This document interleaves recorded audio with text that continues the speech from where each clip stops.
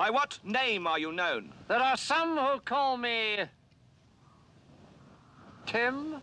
Welcome to another episode of Timmy Talks, the channel where we talk old school magic. And today we're going to enjoy a match of unsleeved Magic the Gathering. I've brought my unsleeved revised deck to the table.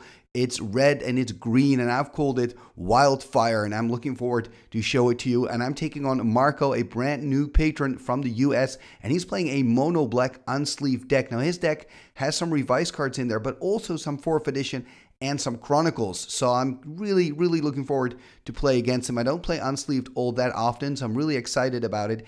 If you enjoy Unsleeved, by the way, check out the description below because there's a nice link to the playlist with all the Unsleeved games played here on Timmy Talks. There are quite a few now, actually. Um, and also in the description below, you can find a timestamp directly uh, linking to the actual games. I know some people enjoy skipping the deck text, checking it out after the match. The easiest way to do this is by checking out the description below because there you will find that timestamp. It uh, reads MTG Games. So click on MTG Games and go straight to the game action. And here I'm going to continue with the deck text and I'm going to start with the deck of my opponent Marco. Let's have a look. And here we see the deck of Marco, and it's actually looking, it's looking pretty good. I like the way this looks. It's uh, mono black. We see some actual rares in there. We've got a Demonic Tutor. We've got a Sorcerer's Queen. So that's pretty good. We have a Jayemdae Tome for card draw. We've got a Disrupting Scepter, and it's also pretty aggressive, right? That's exactly what you would expect from uh, from black because we see two black knights, we see frozen shade, which is which is good in a mono black brew. We see four uh, of those uh, Erg Raiders. I think Erg Raider, what I love is to put an Unholy Strength on Erg Raider because it's like it becomes a 4 4 and that just feels good. You know, it's protected from bolts. It, it just wants to attack every turn. It's really nice. Also, the Juggernaut seemed quite strong. If you get an Unholy Strength on a Juggernaut, you've got a 7 4. That's really good.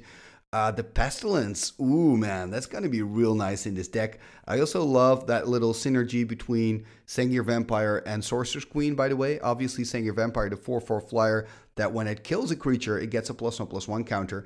And with the Sorcerer's Queen, you can make any creature an O2, you know, so that always works together really, really well. So it's looking like a pretty solid list for Unsleeved. I'm a little bit scared, but you know, let's check out my deck because I've got some tricks as well. Let's take a look at my deck. It's uh, green, it's red, it's called Wildfire. And here we see my deck. So I've called it Wildfire. It's red and it's green. And the reason I've called it that way is because it's got a play set of Wild Growths. And it wants to, one of the strategies is it just wants to build a huge fireball. Now I don't have four fireballs. I do have two fireballs and two disintegrate. So that comes pretty close. So I can make like a big fire with my Wild Growths and my fireballs and also I'm playing fire breathing. So it's it's pretty cool, you know. I think this deck is also quite good. The wild growths are really going to help me ramp up. So it's not just to make a big fireball, but also to kind of get my bigger creatures out early. I'm playing Juggernaut as well, just like Marco. I'm playing a full playset of those. So if I can have a wild growth turn one, then potentially I can have a Juggernaut at turn three, which is real good. Um, of course, I can also have a turn four Earth Elemental, which is really hard to get rid of because it's got 5 toughness, so it's a 4-5 big boy. It could kill one of those pumped up Erg Raiders that we talked earlier about. I've got an Ironroot Treefolk, 3-5, again that 5 butt is going to make it really good. And what I also like in this deck, I've put two Dwarven Warriors in here, and I've obviously I've got some creatures that I can make unblockable, right? I've got the Scryb Sprites, I've got the uh, giant spider, I've got the Kird Ape, so those creatures I can make unblockable, and obviously I want to put my fire breathing on those creatures, because the way Dwarven Warriors works is you can make a creature unblockable with power 2 or less, and after that you can up their power. So if I, for example, put a fire breathing on my Kird Ape, I can make it unblockable, it attacks, and then before it deals damage, I'm going to pump it up with the fire breathing, deal some additional points of damage. So that's some kind of like little nice, nice, neat little trick. Now, as you can see, I don't have a lot of flyers, so I mean that's a little bit of a concern. So that Sengir Vampire there of my opponent is looking very scary, but then again, he only plays one Sengir, so I'm I'm fine. Um, I'm also playing a, a Lightning Bolt, which is pretty good against the Sorcerer's Queen. So yeah, you know, I'm pretty confident. I think this is going to be a close match when I'm looking at both the decks and their power levels. Anyway, uh, we've checked out the deck of Marco. We've checked out my deck now here, Wildfire. That means we're ready. Let's go to the match. Game number one, here we go. So we've got Marco on the left, so he's on mono black. I'm sitting on the right, so I'm playing my Wildfire deck, green and red. I'm on the play. Actually, I'm not. Look at that. I thought I was on the play, but it's Marco starting with a swamp, passing the turn. So I'm going to draw card number eight, I guess. Playing a forest, tapping. What do we see? A wild growth. So this is a really good opener for me. And uh, six cards in hand here, passing the turn, probably back to Marco. Let's see what he can do. Also, six in hand while drawing up to seven now, of course. Can he find, for example, a Black Knight? Nope, just passing the turn here. So he seems to having uh, mana issues very early in the game. Perhaps should have taken a mulligan. There's a tap for three. There's a Dwarven Warrior. So it's a 1 1 creature. You can tap it to make target creature with power 2 or less unblockable. So it works really well with my Scryb Sprites and Kird Apes. Giant Spider is in there as well that I can make unblockable. Passing the turn back to Marco. Let's see what he can do. There's a Feldon's Cane, a card originally from Antiquities. You can tap and sack it, and you can then shuffle your graveyard back into your uh, library. There's the attack with the Warriors, by the way. Marco on 19. This is a copy from Chronicles. Tapping two green here. What else can I do? There is a Scryb Sprite, so one green floating. Tapping that one, so one red, one green. Playing a regeneration on the Scryb Sprites. Enchant creature, pay one, regenerate. So really protecting that flyer. We are playing with mana burn, by the way, in these unsleeved matches. There we see Marco tapping two black. There is a black knight. So 2 2 first strike protection from white. Luckily for me, the uh, script, Scryb Sprites can fly over. Now I've got four mana. Perhaps I can cast a giant spider or war mammoth. That will be really sweet. First attacking here.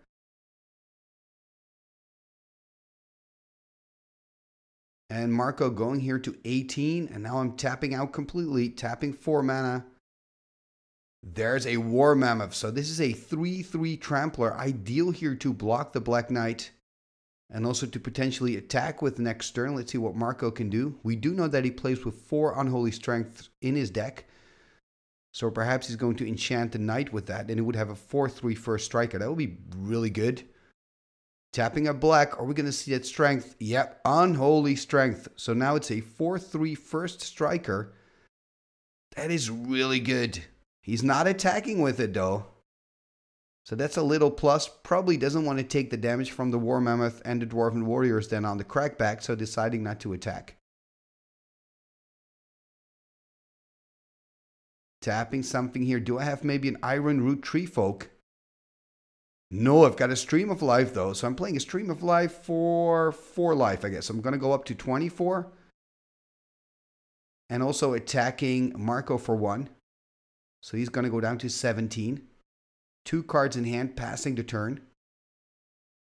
So even though Marco has only found two lands for this entire game, he's still on 17, which is not too bad. And he's got a 4-3 first striker. So this always kind of worries me because there there will be a certain point in this game where Marco will find the swamps and then he simply has more cards in hand and he could take over the game. But that moment hasn't arrived yet, just drawing a card and passing the turn. So very unfortunate here for Marco, not finding any swamps. There's a mountain from my side. There's an attack here for one again. There's a terror though. And remember, with terror, you cannot regenerate. So that is very unfortunate. And now I have to find a way to deal with that knight. Perhaps I've got an earth elemental. That would be ideal. There's the earth elemental. That is perfect. 4 5. So that can actually attack Marco next turn. It can kill the Black Knight. So this is ideal for me. And Marco's going to draw for turn. Will he find some more lands? Finally finding land number 3. Had to wait a long time. The question now is what can he do with three lands? I mean, he does play with one Sorcerer's Queen. That would be a really good card right now. It would be a big problem for me. He's not doing anything though, so giving me another chance here. Gonna go up to two cards in hand. And I'm gonna attack first with my Earth Elemental. So 4 5. There's a terror though. Oh, that's unfortunate. Those terrors are so good playing another wild growth. So having even more mana, one card in hand passing the turn, I could really use like a Fireball or a Disintegrate to kill the Black Knight. Marco still on 17. I mean, those terrors are so good against my deck.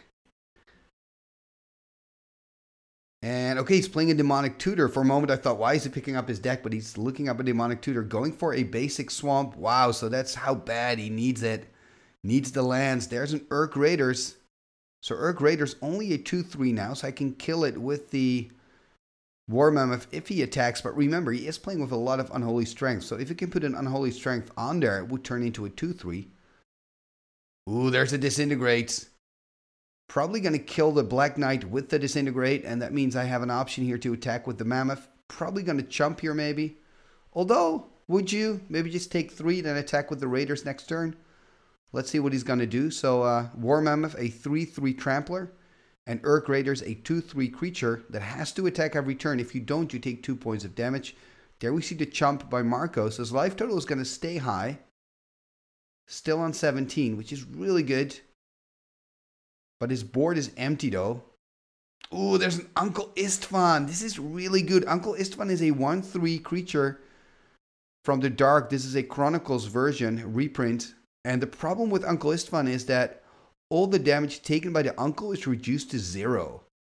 So he can block like the War Mammoth and he's not going to die. The damage dealt by the War Mammoth will be reduced to zero for Uncle Istvan. So it's like a perfect wall here for Marco. And again, it's really good with uh, Unholy Strength because then you can make it a 3 4 and you can just attack with it, kill some stuff, and it's not going to die. At least not from combat damage. So I can play a Fireball on it. That's going to work. But this is really good for Marco. Now he's also using his Feldon's Cane here to uh, shuffle his graveyard back into his library. That means those terror cards are coming right back for him. That is quite good. That's a problem for me. And I only have one card in hand and no way to deal damage to Marco here. And Marco's got four cards in hand. So things are looking up for him despite the fact that he couldn't find lands for the longest of time in this uh, game one. It's going to draw a card for turn there.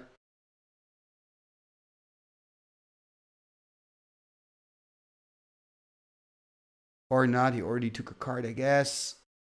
It's a bit muddled, but anyway, he's got four swamps tapped. Yeah, now he's going to take his turn. Okay. Yes, I was passing the turn. He did it on end step. There's a Juggernaut. Oh, man. The only good thing about Juggernaut is that I can block it on the War Mammoth. We can just trade it. I mean, that's something. Tapping three here. Okay, there's another Dwarven Warrior. So I can use one Dwarven Warriors now to make the other one unblockable. At least get some points of damage in. But I mean, it's not looking great for me. Still just at one card in hand. Not really doing anything for the longest of time here. Probably got to pass it on to Marco. Who has to attack me with the Juggernaut. So I guess I'm going to block that with the War Mammoth.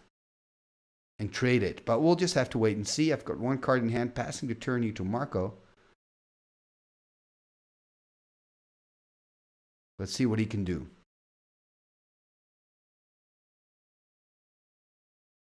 Draw a card for turn. So he's got, I believe, four cards in hand. We see that little white dice that says the cards in his hand, and you see my dice that says one. So I've got one card in hand. Well, you can also see it, but ooh, this is painful. Drain life for three on my mammoth. This is not good. Also because Marco gains three and kills my blocker for the Juggernaut. I mean, this is really bad. There's the attack. Gonna take five. Gonna fall down to 19. This is a big problem for me. I really need to start drawing some good cards now. Tapping a green. Another wild growth is not what I need. I mean, it's nice to have so much mana, especially in a deck with, uh, you know, the fireballs disintegrates. But if you cannot find those, it's not going to help you. Look at this, attacking for one now. Yeah, this is not great. Perhaps I should just jump block instead of doing this, but yeah, whatever. Dealing one damage at least to Marco, passing the turn, so he's going to drop to 19. He, of course, gained some life from the drain life. I mean, this is really bad. There's a swamp. So six swamps, got the Juggernaut, got the Uncle Istvan. Oh, look at this double unholy strength. This is gonna hurt. Attacking here for nine points of damage, dropping to ten. Oh man, this is this is horrible. I need to find my shatter here to take care of that uh, juggernaut. This is horrible. Also a Bog Wraith, by the way. Ah, 3-3 Swamp Walker. Oh man, this is so bad. Keep looking at that one card. It's just no good, I guess. I wonder what it is. Maybe just the land. It wouldn't surprise me. Anyway, my opponent Marco I was going to attack here. I probably have to jump. Tapping one red, it seems. Is it a lightning bolt, perhaps? If it's a bolt, I could double block the Juggernaut here with my two dwarves and then play the bolt and kill the Juggernaut. That would be ideal here. Yeah, it's a lightning bolt. Okay, so this way I kill the Juggernaut. So at least that's a problem fixed, but I still have two problems there on the board. The Uncle Istvan and the bigger problem, the Bog. 3-3. So I still get 3 damage, dropping to 7. No cards in hand, top deck mode. And, uh, oh yeah, yeah, Marco making a mistake here, assuming it's his turn again. No, no, no, no, you attack me. Now it's my turn. Finding a Pixies. Or sorry, a, a Scryb Sprites, of course. Argothian Pixies is another card, but uh, the Scryb Sprites found 1-1 Flyer. This is no good, though. This is no good. There's the Sorcerer's Queen. Doesn't matter much, but it's a good card. You can attack now with both creatures, exactly. Uncle Istvan and the Wrath. Take four points of damage, dropping to three. It's looking very dire here. I think maybe a fireball can save me because I can kill multiple creatures then. I've got a lot of mana. Finding a mountain though. Passing the turn. Can I live one more turn? I think I can. I've got a chump on the bog. And then I take uh, one more point from the uncle. I will drop to two. Unholy strength. So I'm lucky he's putting it here on the bog and not on Uncle Istvan, or else I would have been dead already. So he's giving me one more turn.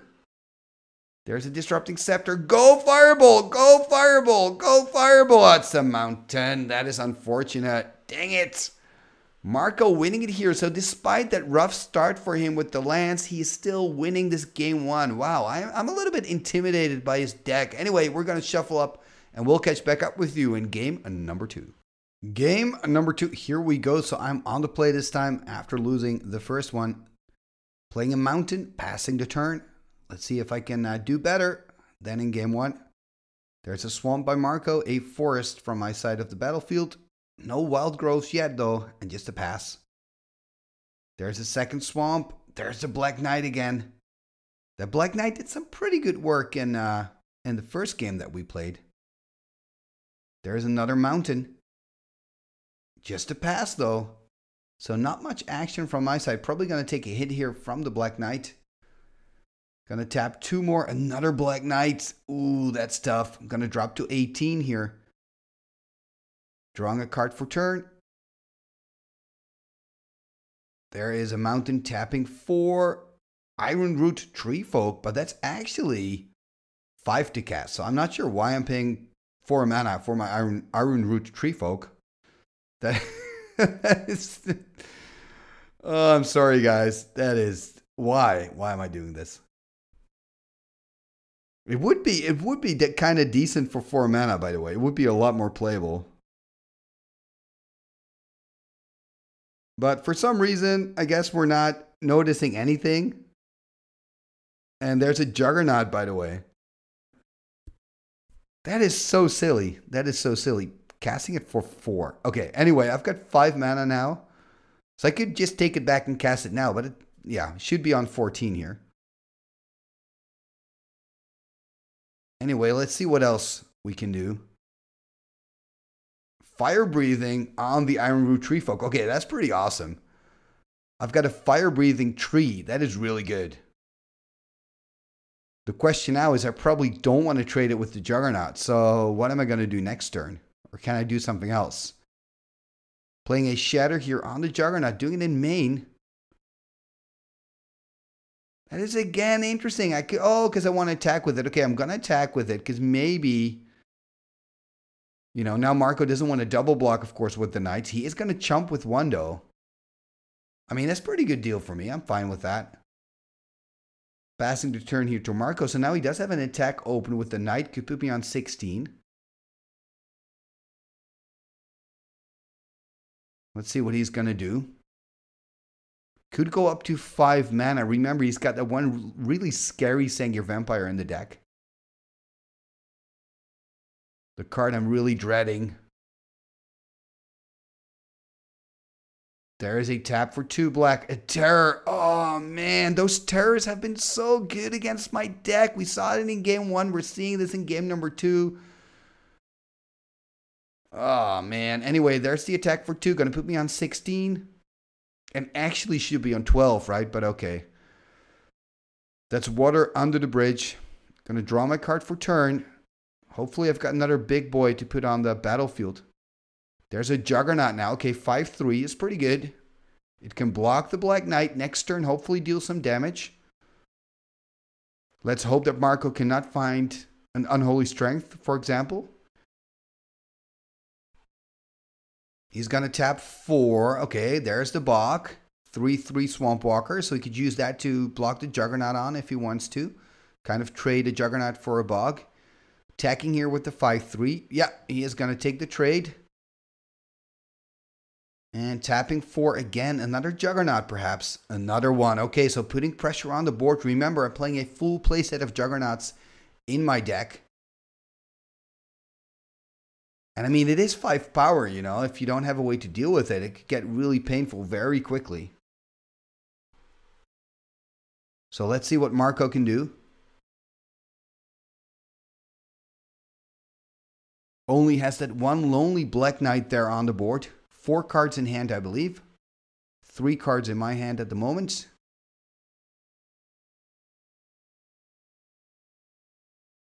He's going to tap two black, four. There's another box, so again, he can trade them off. That is pretty annoying. I mean, that three toughness, that's a little bit too weak.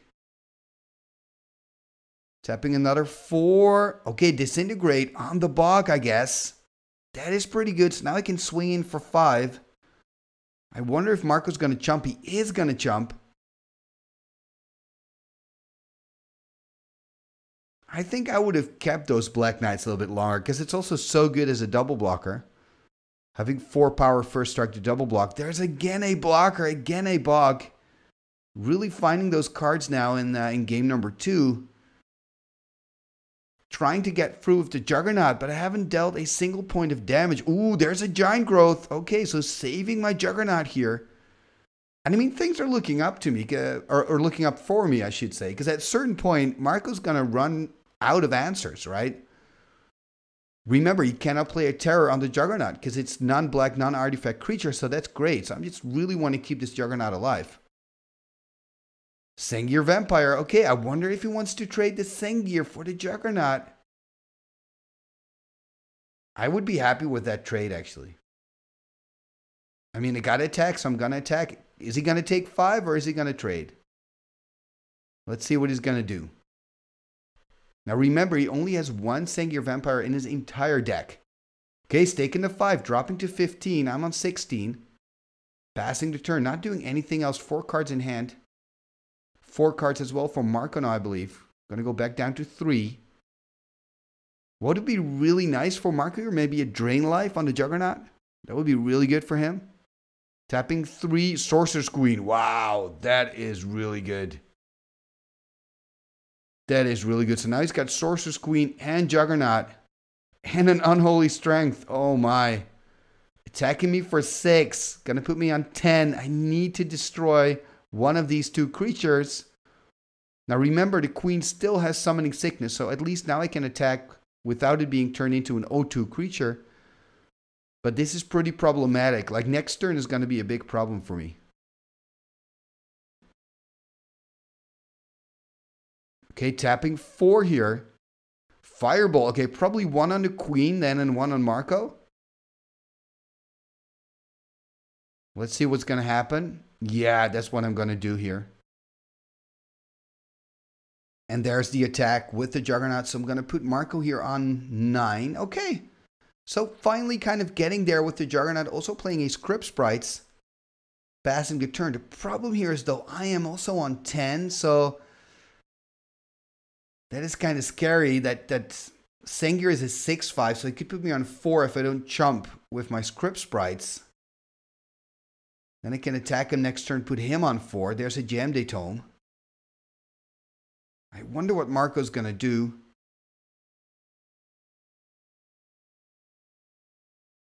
Another Unholy Strength. Oh, that is insane. He's going to attack now for 8. It's going to put me on 2. I guess 2 doesn't... Is not... Well, if he has a Drain Life... Ah, oh, it's scary. It is so scary. Remember, I'm already game down. Gonna go down to 2, though. Taking the risk. Oh, this is scary. Do I have maybe if I've got like a disintegrator or something? You know, I could just attack and then kill him with a disintegrator or fireball. Oh, fire breathing. This is perfect because I can attack. I think this is game, right? Because I six and I can pump him three times, deal nine points of damage exactly. That's it. Winning here. Game number two, right? Or not. Yep, winning game two. Look at that. Wow, wow, wow. That fire breathing just in the nick of time, though. Oh, but I feel kind of bad, Marco, because I don't know why I played Ironroot Treefolk for four. I mean, that was just wishful thinking. It would be playable for four mana, though. The only thing I'm happy about is that it does mean we're going to get a game number three, and that's always more fun than a two game match. So that's something. So I guess we're going to shuffle up again, and we'll catch back up with you in game number three. Game number three. Here we go. Marco on the play. Starting with a swamp, passing the turn. Let's see what I can do. So this is the decider, right? Playing a forest, tapping the forest. Are we going to see a wild growth? Yes, we are. Okay, wild growth. That's good. That's my best uh, turn one play actually with this deck. Six in hand, passing the turn. Let's see what Marco can do. Are we going to see another Black Knight? We saw that in, I believe, both the games. No, we don't. Okay, that is really nice. Cutting me some slack here. So now I've got three mana Dwarven Warriors, perhaps. Tapping the Forest for two green Scryb Sprites. And another Wild Growth. Wow, so much mana. So next turn, I could play maybe Earth Elemental, maybe iron Ironroot Treefolk, maybe Juggernaut. I mean, it would be really, really sweet. Let's first see what Marco can do in his turn three, finding another basic swamp. Can he cast a creature here?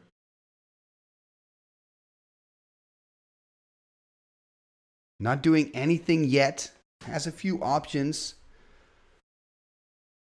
Erg Raiders, Black Knight, Sorcerer's Queen, Disrupting Scepter. Okay, that's also one of them. So Disrupting Scepter, an artifact that uh, discards cards. Like he can use it in his turn. You can only use it in sorcery speed, pay three and tap, and then force me to discard a card. At least I can choose what card I want to discard, so that's something.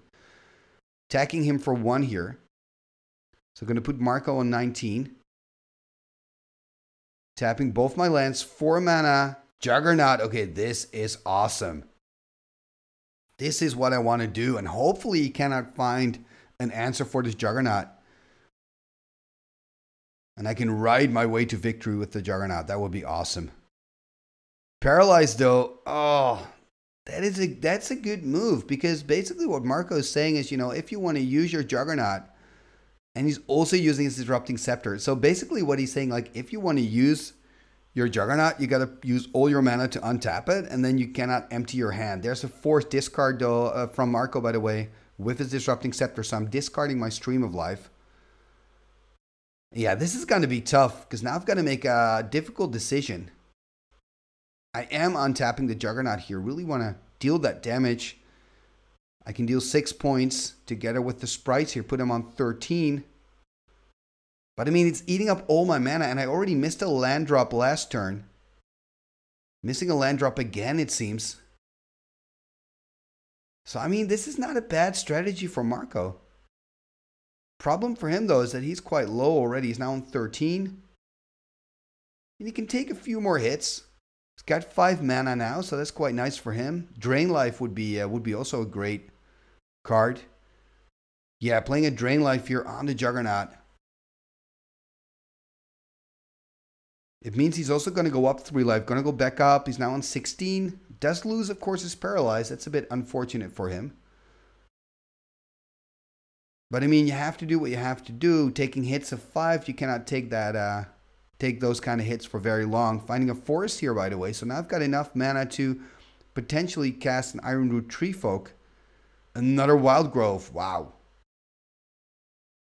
Finding a lot of Wild Growths in these games. So regeneration on my sprites. Attacking with the sprites. So going to put them on 15.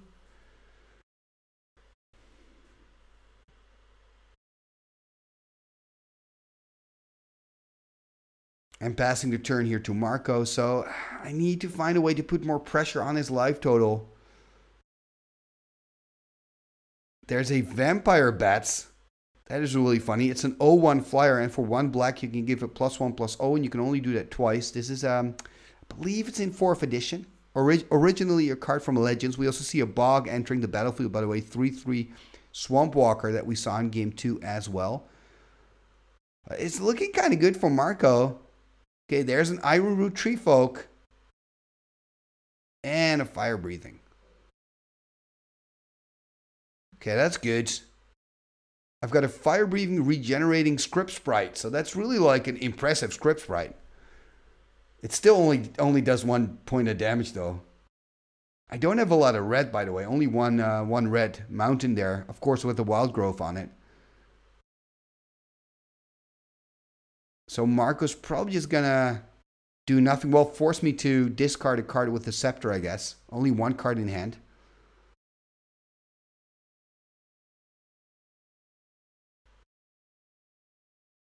Or does he have something better to do? Okay, using the scepter, he's got two cards in hand still, I believe. Ooh, look at that, forcing me to discard a disintegrate. That is painful. That is painful. Such a good card, losing it here to the scepter. And the problem, of course, with disrupting scepter now that I'm in top decking mode, I have to kind of keep playing out what I draw into. Attacking with the sprites here. I guess I don't want to attack with also the Treefolk because then he can double block and you know I have to he's gonna kill my Treefolk. Okay, blocking here on the vampire bats. So that that's good. So regenerating my Scryb Sprites here, taking one point of mana burn. Although I think I could put on a double regeneration shield now that I'm looking back at it. So taking a point of damage, that's not really that necessary. And another point of damage for casting my Dwarven Warriors. I mean, that's a downside with Wild Growth if you're playing a format with mana burn, that it's harder to kind of get the right amount of mana. So now I've got that combo, right, where I've got Dwarven Warriors with a 1-1 creature with Fire Breathing on it. So that's kind of nice. Oh no, this is, oh, this is really bad. Look at that. Oh, this is so bad. Pestilence, for one damage, you can kill two of my creatures. Oh no. Oh, this is so bad. This is so bad. Oh, yuck. This is really bad.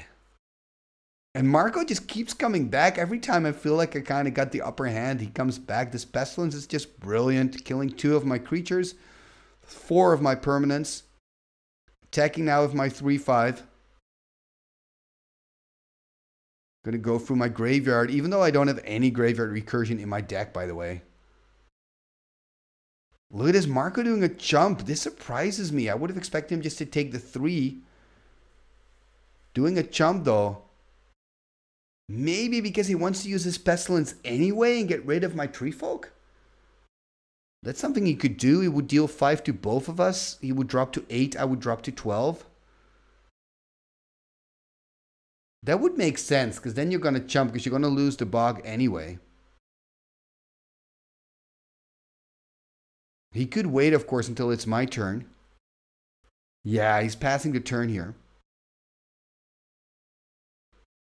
Attacking here. Are we now going to see the Pestilence activation? Yeah, going to use it for five. So we're both taking five. I'm going to lose my creature. Playing a forest and passing the turn here. So I'm not really finding anything useful, by the way, but I guess I don't want to play out another creature because then the pestilence stays alive as well. Wonder what I have in hand. Marco's probably going to use his scepter. Look at the amount of lands he's got. He's got enough mana to do like end the scepter and do something else. Yeah, using the scepter here. Yeah, losing a land. I'm a little bit land flooded at the moment. He's passing the turn back to me. There's another forest. And actually, when looking at this list, I'm playing a lot of lands. I think I'm playing 24 lands. So I should probably try to find some other revised cards to put in here. I've got this little box of beat up cards, so maybe go through that again, see if I can find, uh, take two lands out, put something else in. Anyway, playing a uh, Juggernaut here. That's pretty good. If this stays unanswered, I mean, Marco's on a two turn clock now. Things are looking up. Well, things were looking up. There's a drain life. that drain life is also so good because it works both ways. He kills a creature and he gains life, you know. I think it's going to go back up to 11. He was on 8, right? So he's going to he drained me drained my creature for 3, so he's going to go up to 11, I believe. Yeah, exactly. Stone Rain not really that impressive at this stage in the game. Also against the monocolor deck, it's quite bad in this format because you don't have you don't often see cards like Mishra's Factory or something. There's a Bokrath, 3 3 Swamp Walker. Or I guess you should say Bog Wraith. But it's a problem for me. I mean, I'm I'm top decking not really great cards. I mean, I've top decked three lands in a row and I think a Stone Rain, so that's really bad. Unholy Strength. Oh man, this is painful. Attacking me for five. Or not. Yeah, so attacking me for five and use the scepter. Look at the card I'm losing. Another land. There's a mountain. Passing the turn, so I've got one more turn. He's going to put me on two. I'm on two. I need the card now. Fireball, fireball, fireball. Wild growth. Wild growth. I mean, Marco, congratulations. And I think you've earned it. Also considering, okay, so the, the cards were coming. You know, the Juggernaut could have helped. But um, what I wanted to say is congratulations, Marco, on winning this. And I think it's fair enough. You actually beat me 3-0 because the second game... Anyway, let's not talk about that anymore. What I've learned from this match is A, Ironroot Treefolk has a casting cost of 5, and B, I need to take some lands out of this deck and I need to put some other creatures in. Let me know in the comments below what creature would you put in and please uh, it should be revised. It has to be a common or an uncommon because I don't have all the cards. For for example, I don't have a beat up Dragon Whelp to put in the deck, which I think would be a really good card in this deck, but I, I, I don't have a beat up one to put in this in this type of deck. Anyway, uh, thank you very much for watching. Also, thank you, Marco, for playing a game. And uh, thank you also for supporting the channel as a patron. Would you also like to support the channel as a patron like Marco? Check out patreon.com slash Timmy Talks for all the ins and outs. you can already start supporting the channel with $1 a month. And for that support, your name will be mentioned in the end scroll at the end of every single video, including this one. Let's go to the end scroll. What shall we do with the drunken sailor? What shall we do with the drunken sailor? What shall we do with the drunken sailor?